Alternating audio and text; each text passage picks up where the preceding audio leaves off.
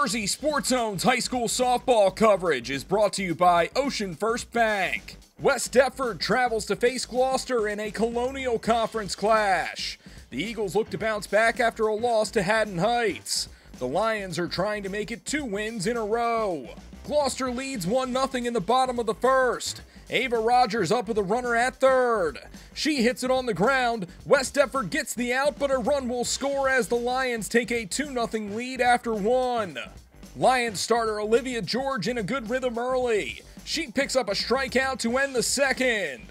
Gloucester with two on in the bottom of the frame. It's on the ground to short. Jaden Kelly gets the out at second. The runner is safe at first, but a heads up throw from Victoria Connolly saves the run as the Eagles get the double play to end the inning. Bottom three, Rylie Zearfoss up with runners at second and third with two outs. She hits one up the middle, and she beats the throw at first. Two run score as the freshman legs out a huge infield single to make it 4 0. Eagles trying to battle back in the fourth. Macy Harold skies the two strike pitch into left, and that will bring in a run on the sac fly to make it 4 1. Victoria Connolly digs in next. She sends a blast into left, and that will fall in. One run scores, and Connolly slides in safe at second. The RBI double makes it a two run game. Lions leaning on its defense with a two run lead.